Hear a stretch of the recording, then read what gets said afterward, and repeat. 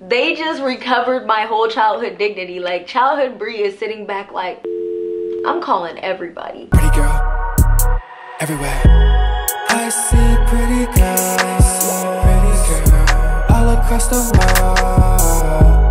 I see pretty girls,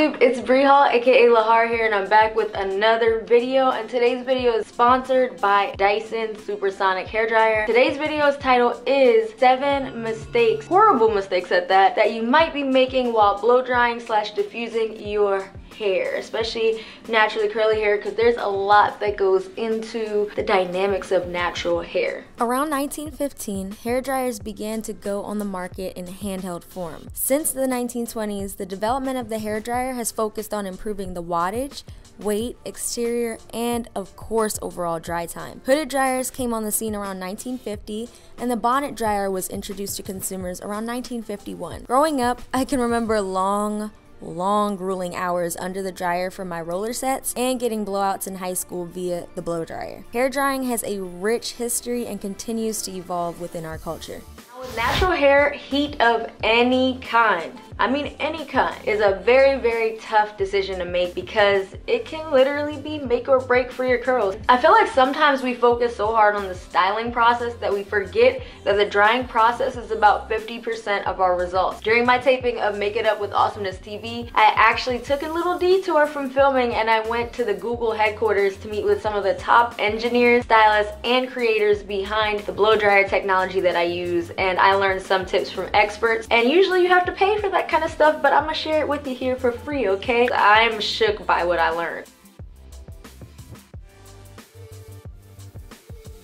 mistake number one that you may be making while diffusing your curly hair is actually not investing in a quality blow dryer. So I've personally been using the Dyson Supersonic since 2017. So this actually is a product that I purchased with my own money, okay? I saw the price initially and just like the rest of everybody in the world, I was shook. I was like, that's a lot. That, that is a lot. But here is why I actually think it's worth the price. Many dryers on the market today use the same motor technology that's been in use since the 1960s, and let's say it's a little out of date. The Dyson Supersonic motor is in the handle instead of the head, and significantly smaller and much more powerful, making the dryer a lot less top heavy and more balanced. Also, the dryer just in general weighs less. The chance of heat damage is significantly reduced because of the microprocessor that monitors temperatures 20 times per second to avoid damaging temperatures and overheating. The dryer is faster with an average dry time for my thick hair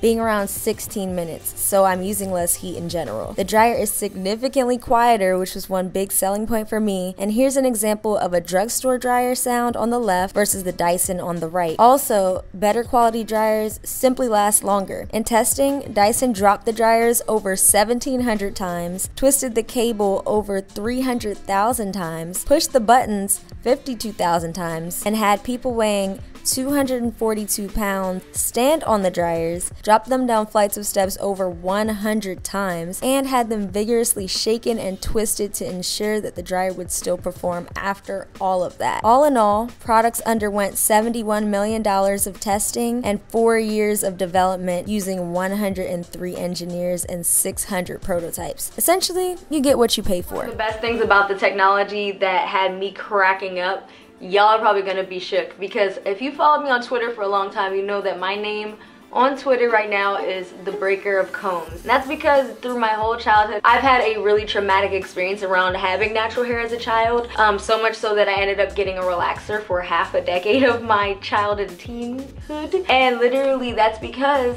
I used to have teeth sucked at me. I used to break combs, especially blow dryer attachments. Like the one we had at our house, I used to have like three or four missing teeth because my hair was so thick and it was literally seen as like the enemy to blow dryers. The Dyson team informed me something. I'm still shook, y'all. I had to call my mom after hearing this. So because a lot of these blow dryers are made with cheap plastic, Think about what happens when you put cheap plastic near heat. It melts, y'all. It literally melts down. So when you have this hot, overheating dryer that's not measuring the temperature that well, and then you have this cheap plastic comb attachment or what have you, literally the dryer combs were melting. Even though my hair is thick, they said, Bri, actually not your fault that the combs were breaking. It was the material the combs were made of. They just recovered my whole childhood dignity. Like childhood Bri is sitting back like, I'm calling everybody that that made it seem like my hair was unmanageable. I'm calling everybody. Dyson's new wide tooth comb attachment is engineered for curly and textured hair.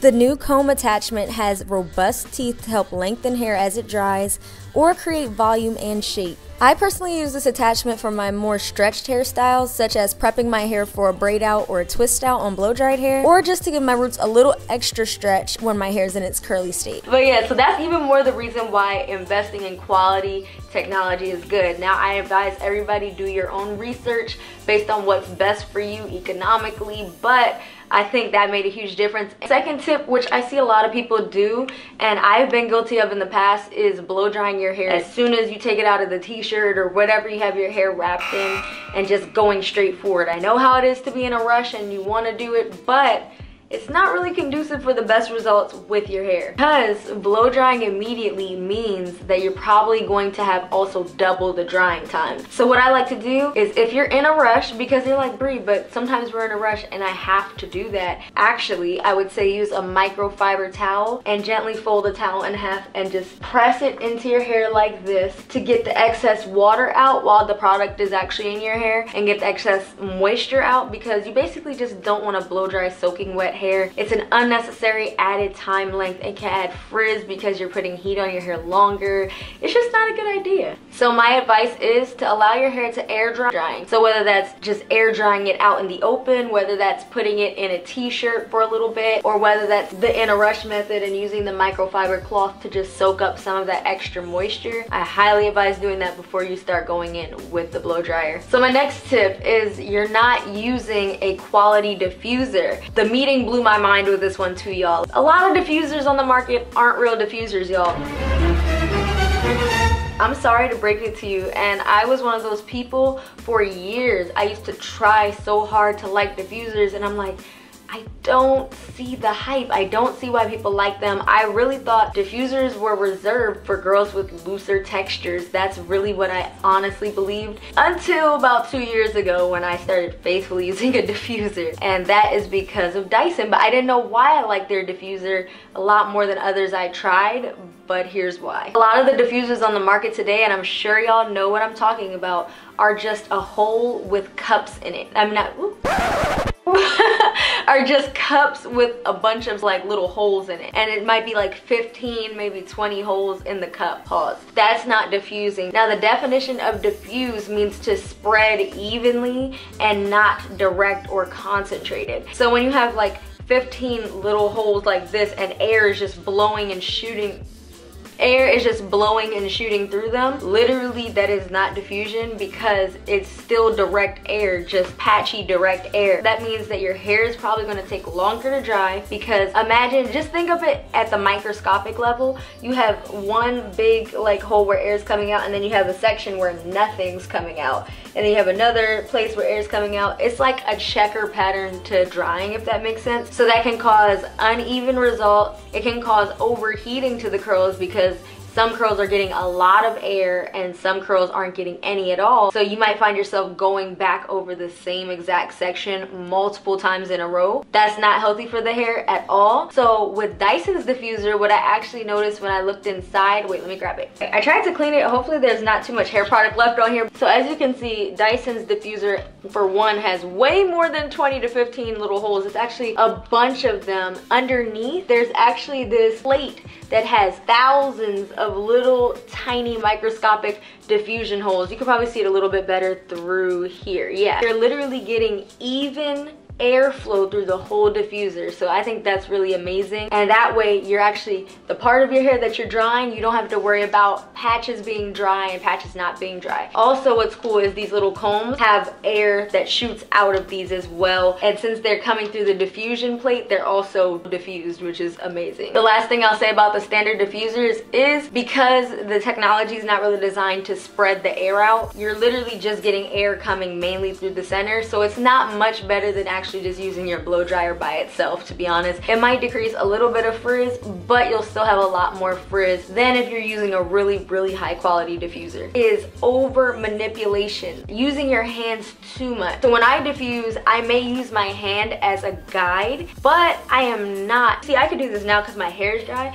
but I'm not flipping and doing all that, you know, like, and shaking. I'm not doing any of that while my hair is damp or in the drying process because that just causes unnecessary frizz. And then also the Dyson team informed me that there is a such kind of damage. I already know about like UV and heat damage, and color damage, all that stuff like chemical processing damage. But they informed me about mechanical damage. And mechanical damage is basically damage caused anytime you manipulate your hair. So it might be gradual. That's why people like finger detangling and stuff because that's why a lot of people swear by low manipulation of the hair. And you know, each strand has only so much it can take before it starts to weaken from being tugged and pulled and all that good stuff. Any touch of the hair to an absolute minimum. Too much heat, but also too much fan or air speed. So a lot of people are using excessive heat to dry their hair quicker, but there's a downside to drying your hair quicker because you're literally doing just that. It's a self-fulfilling prophecy. When you dry your hair quicker, your hair also tends to dry out quicker. It's literally sucking the moisture out of your hair